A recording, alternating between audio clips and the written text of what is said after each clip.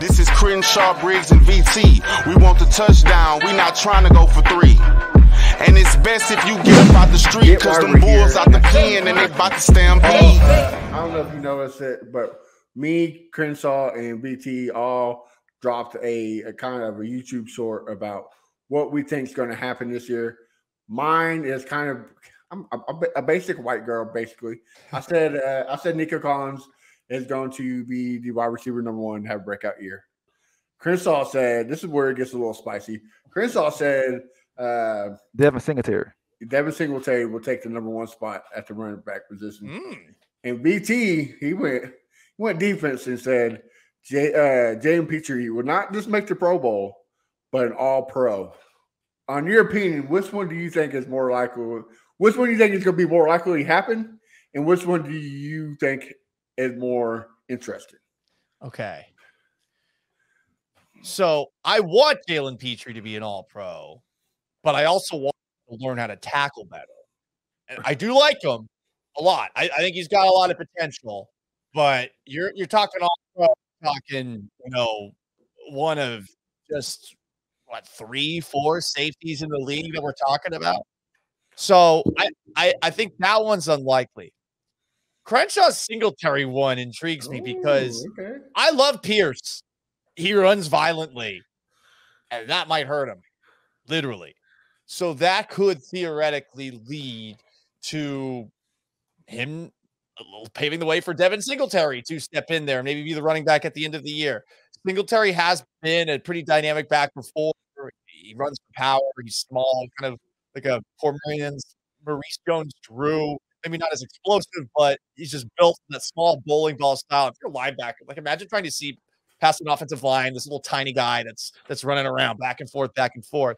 To your point about Nico Collins, it is such a crapshoot with that number one wide receiver spot. I- don't, I, I don't know if they're really going to have a number one wide receiver by the end. So I would say for both, it's Crenshaw. I, I, the, the Singletary idea, that's not one I had thought of, and I'm like, oh yeah, Dameon Pierce is probably going to get hurt at some point. I hope it doesn't happen. Marion but Barber. yeah, That's who you run like, Marion Barber, man. Rest in peace. Yeah, for sure. all right. VT, have any, anything to say to that? Yeah, um, let me just say why I think Jalen Pitre actually has the best chances of being the first uh, Caserio area era uh, All Pro. Um, there hasn't been an NFL rookie that had 125 tackles and five interceptions since the year 2000. So he's he's damn good. The reason why he had 36 missed tackles is because he's a ball hawk. He's everywhere. He tries to be everywhere. His motor is insane. If we had um, an actual front seven, an actual pass rush, he wouldn't be having 147 tackles, and you wouldn't have 36 missed tackles. He, no DB should have 147 tackles. The fact that we had him and Jonathan Owens being the tackle leaders shows you how horrible our front Jon- seven was. Jonathan Biles. Jonathan Biles. Jonathan Biles, yes, M- Mr. Biles. Um, that shows you how bad our front seven actually was. We- should have a much better pass rush. I don't think it's going to be dominant or anything, but it should be much better with Will Anderson, Sheldon Rankins. But yes, Jalen Pitre is him. And and the thing is that once he is no longer having to just run everywhere because he actually has some help, right? Now he has Jimmy Ward on the other side too. That I think that the missed tackles situation gets a bit more resolved. I think it should be, uh, you know, definitely under twenty, but hopefully under missed um, uh, double digits. You know, so so let's hope that that part goes away. But I think that he actually has a chance within a DeMeco Ryan scheme to actually get more picks too, and and more pass deflections. He had eight pass deflections too. So like, it's not like this guy helped in the run. This guy helped in the pass. The dude was just everywhere. He's he honestly is my favorite player on their team right now. I know a lot of people either say CJ Stroud or Dameon Pierce, which I understand, obviously, but there is something about Jalen Pitre that makes me think that this guy could eventually be one of the best defensive backs in the league. A- And, I'm being serious. The only way he makes all pro if the Texans have a good record.